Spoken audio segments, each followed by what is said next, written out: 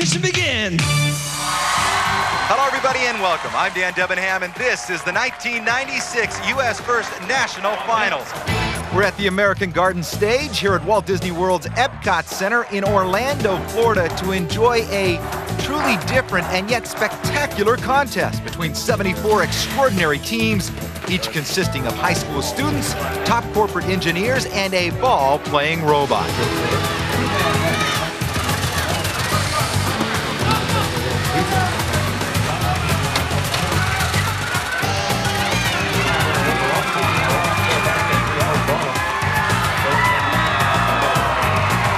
It's a potent mix of enthusiasm, teamwork, brain power, and sheer brute force. And it's not only made for a unique sporting event, for many of the young contestants here, it has changed their lives. At one point, I was going to be a lawyer, following my grandfather's footsteps, but now, after seeing what engineering is about and what you can do at engineering, I love it. Major aspect which we really learned is uh, teamwork. If we weren't a team, then it's not going to work.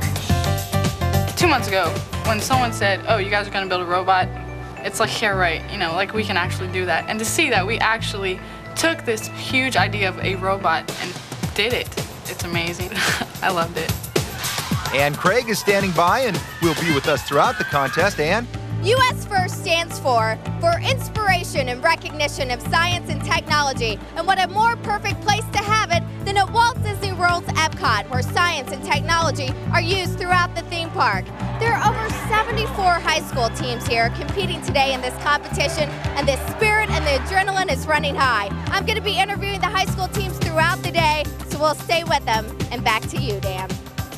Right now, let's go to the playing field and get more specific about this competition. On a hexagon-shaped field, three robots battle against each other to get balls into a central goal. Each robot team can score balls through the bottom of the goal or over the top.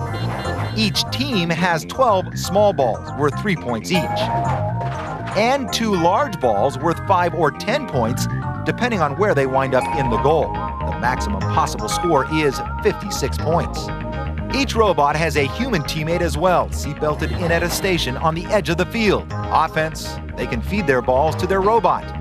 Defense, they can keep opponents' balls out of play. And to score, they can join in the action themselves by throwing over a five-foot bar. Each round lasts two minutes.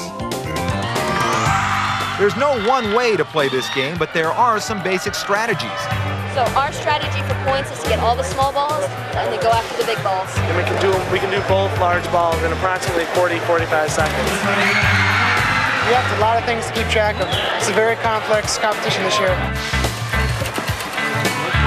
Well, I'm, I'm 6'8", and I play basketball, so I feel pretty confident that I can shoot the ball right in the goal. Frustrating, because you're strapped down, you can't do anything about it. The human players are defensive. We're leaving the robot more for offensive. Right now we're going to scatter the balls that are right in front of us, the eight balls, and then we're going to go for the uh, large balls that are up on the triangles. Well, right now, almost every team is convinced it's going to win the 1996 U.S. First Hexagon Havoc Championship, so let's get to the action. In the first round, the 1995 U.S. First champions, Woodside High School from Woodside, California, partnered with Raychem Corporation, will be defending their title with a low riding machine designed to pick up only these small three point balls, then play aggressive defense. They'll be looking for the red balls. From Rochester, New York, Edison Technical High School, partnered with Harris Corporation and Rochester Institute of Technology, has a machine called Tiger Bolt. Its pair of Tigers can grab both small and large balls. They'll be looking for the blue balls. And going for the yellow balls, Middletown High School from Rhode Island is working with the Naval Undersea Warfare Center. They plan to fill a box with the small balls and push the box into the goal, blocking their opponents. So two of these three teams rely on defense to win. Let's see if it works. Woody Flowers is our MC for the day. Take it away, Woody. Three, two, one, go. And they're off. Out of the gate comes Tiger Bolt. He gobbles up a bunch of blue balls as the Edison technical drivers speed it over to the goal. As Tiger Bolt delivers, Woodside dumps in some yellow balls. And here comes Middletown with that box of theirs. But uh, a little too late to block out the others. But the Middletown rookies aren't out of it yet. Check this out. Each team has a large ball in the five-point spot. But look at Middletown. There goes Woodside's five points. And yeah, there goes Edison's the Mike Tyson of 10, if you will. Now can they deliver a 10-pointer? Yes. Middletown takes the lead. Nice play here by Alfonso Montana as he feeds Tiger Bolt some more three-point blue balls. Woodside is frantically trying to roll up its yellow balls, but Tiger Bolt is on a scoring frenzy. Check that out. With most of its three-pointers scored, Tiger Bolt goes for one of its large blue balls right now. Now as it heads for the goal, we see what's, yeah, we see what happened to the other large blue ball, held out of play by Woodside's human player. Pretty good defense there. And now it's a race between Tiger Bolt and Middletown to dump their large ball for 10 points. Tiger Bolt scores. Now Middletown's going for its second 10-pointer, but there is no room. Here comes Tiger Bolt on defense. The Middletown drivers have seconds left to evade Tiger Bolt and score. That's the buzzer. That sounds the end of the round.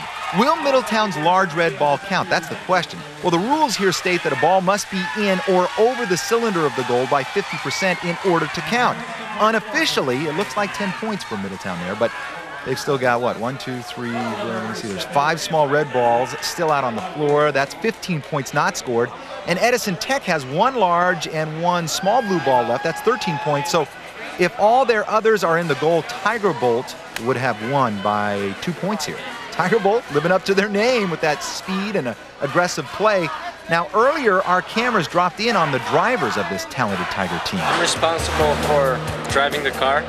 I steer the car with this joysticks. Well, he talks to me because he handles the moving the machine. I handle the up and down with the boulders and everything. So he talks to me if he's going somewhere, what kind of size balls he's getting. He tells me. I do either the boulders, the elevator, and then we just communicate like that. Well, it was that type of communication between Edison Technical High School drivers that won the last round with a score of 43 points. Middletown and Woodside are still alive, however, because in this competition it takes two losses till you're counted out. We'll get back to the championship action in just a moment, but first let's go back six and a half weeks to the start of this competition. Manchester, New Hampshire was the site of this year's U.S. First Kickoff meeting. Here, the engineers and high school teachers from 93 teams learned the rules of this year's game and saw the playing field for the first time. This is the fifth year of the U.S. First competition, and each year the game is different. I think this year's competition is excellent because there are so many different possibilities, so many different possible solutions, and none of us know what the right one is right now. Each team gets an identical kit of parts to build their robot. The first challenge is to figure out what everything is and how they can use it. This is the stuff that you put in your gutter to keep the leaves off it, okay? And I have absolutely no idea how this is going to be useful at this point in time. Drill motors with the gears. Where are the drill motors? That's where the power is. Uh, now we've got pneumatics in here. We've got, I think, three or four more motors than we had before. The level of complexity or level of uh, sophistication we can add to this thing is going to be phenomenal this year. Now, students are not required to take the lead on designing and building, just to be greatly involved in the process.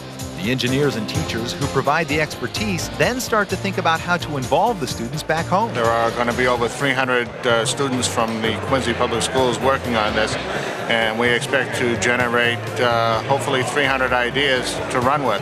And how do you collect 300 ideas? It says We can do everything and anything. Brainstorming. Throughout the country, U.S. First teams are full of suggestions and questions. What you could use is wheels instead of treads because wheels you can whip around a lot faster. Can a um, human shoot straight to the um, basket or does it have to throw to the robot? There is one question on everyone's mind. When are we going to start building the robot? The students may be raring to go, but it's the job of the engineers to make sure they're ready. Here at the Nypro Corporation in Clinton, Massachusetts, the team has come up with a unique way to give the Clinton High School students a robot's eye view of the competition. Ready, set, go! Stubots, students standing in or sitting in for the robots.